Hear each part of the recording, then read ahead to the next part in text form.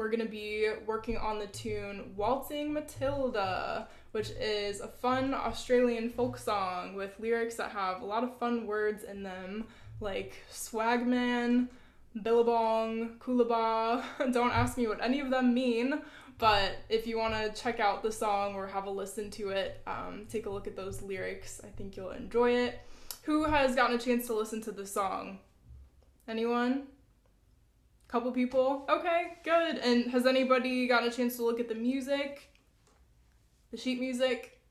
Yeah? Okay. And I went ahead and hopefully you can see it.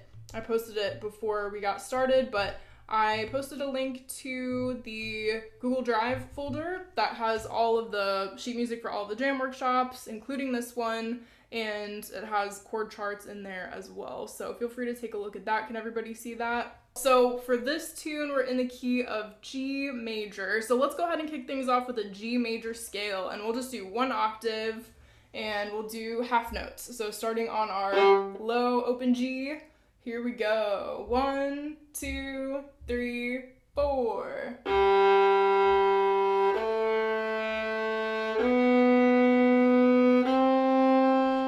Gonna start with just the melody of this tune. It's a fairly simple melody, nothing crazy going on. We're gonna add some fun things to it later. But I'm just gonna go ahead and walk us through phrase by phrase, just playing a little chunk at a time, and just do your best once I'm playing to play it as best you can. We'll go through it a few times, and as always, like I said, feel free to ask any questions or stop me or slow me down or whatever we need to do. And we'll play it a few times at the end as well once we've gone through the whole melody.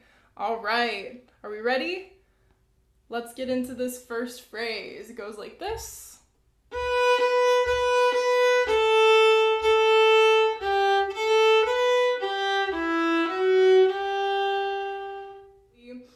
Let's talk about some fun things that we can add into this tune. Some style elements, really, that we have going on. And really, we have two main style elements that we can incorporate into this tune. One being a swing rhythm, which basically just means that we have swung eighth notes, and I'll talk more about that in a second if I'm losing you there. And then the other thing is double stops, which I'm sure most of you are familiar with. So those are the two things that we're going to be focusing on today. So the first thing, talking about this this idea of swing rhythm or swung eighth notes basically just means that instead of playing the eighth notes in a very rhythmically straight way, like we just did with the melody, right, instead we're going to swing the eighth notes, which changes it to more of a long, short, long, short rhythm, which sounds like this. Okay, so why don't we just try that on open A. Don't worry about playing the notes of the tune right now. We'll get into that in just a minute, but let's just go ahead and try that long, short, long, short rhythm on open A together. Here we go.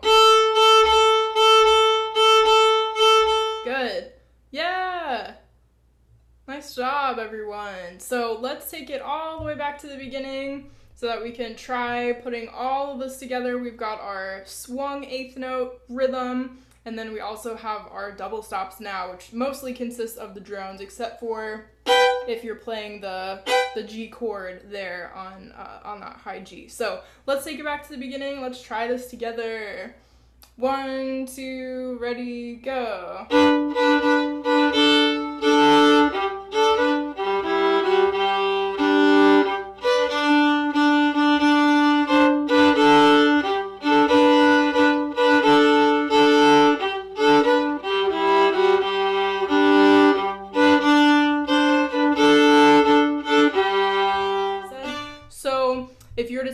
This tune to a jam session though, you'd probably want to know the chords just because it's likely you're not going to be playing melody the whole time, maybe some of the time if you're if you're given little solos and breaks here and there.